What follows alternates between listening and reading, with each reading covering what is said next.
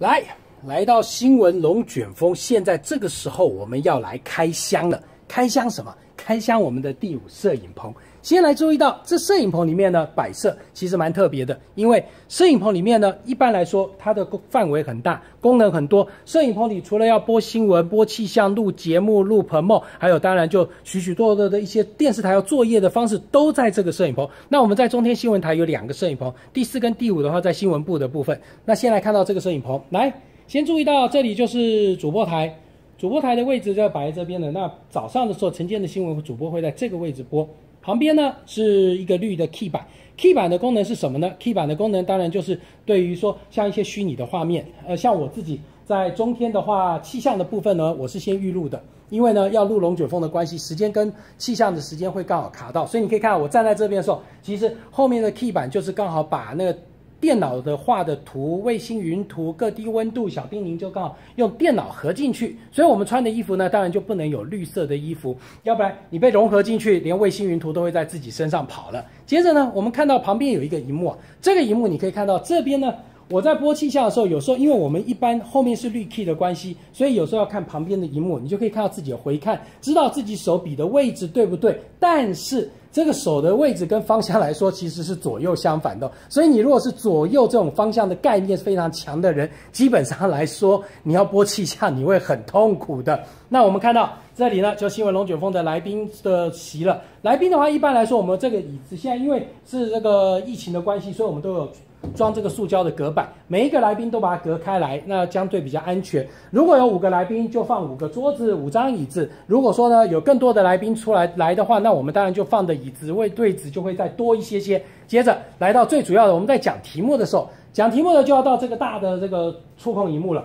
这个触控荧幕呢，它本身来说的话，我们来宾会站在触控荧幕的右边，那我呢是站在触控荧幕的左边。接着我们看到这个大的这个电视墙。这个电视墙我们在很很很有趣啊，呃，导播组的人都叫这个叫冰柜。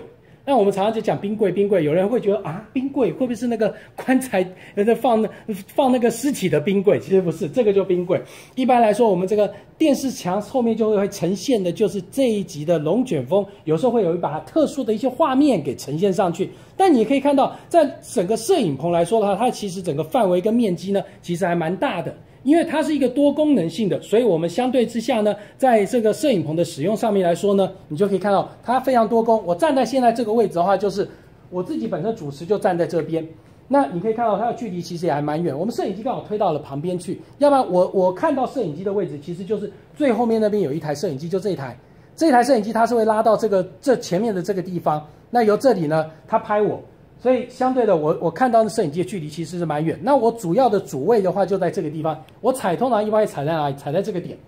所以这个点有没有看到？这上面的胶都已经被被我踩掉了。这里这个点就是我一般我站的时候开场或者是站至中的时候的位置就会在这个地方呢。那我们看到摄影棚上面的话，灯光也蛮多的。各种灯都有，那现在因为用的都是属于那种冷光灯，所以它不会发烫。那以前古早前那十几年前用的这种卤素灯，如果你是戴着变色眼镜的话，你可能还会因为这个卤素灯关系，使得它的那个眼镜的颜色会变化。那我们看旁边的摄影机，一般来说，一个新闻龙卷风要拍摄的话，需要有大约四机，有四台机器在这边。另外呢，我们在顶上的部分呢，其实还有一台跳空的摄影机在这顶上，所以你可以看到摄影棚的整个功能是非常多。那我们后面是一个玻璃的。透明的玻璃，那我们的玻璃的外面呢，可就是我们的整个编辑台。新闻部的整个新闻作业来说它，就是靠外面的编辑台他们的运作。你可以从这个画面当中也可以看到，编辑台目前的话，有些正在安新闻，因为现在这个时间点的话，刚好是已经快晚上七点钟的时候，所以呢，现在我们所谓的一八一九的新闻也正在。隔壁的棚正在拍摄，正在实际上的做一个 l i f e 的动作，所以呢，电视台其实它整个运作来说是非常复杂，环环相扣，每个同仁每一个步骤、每一个环节跟每一个人制作的的东西，甚至他们的分工，都是一个非常细腻的。所以呢，也很感谢这八年半来。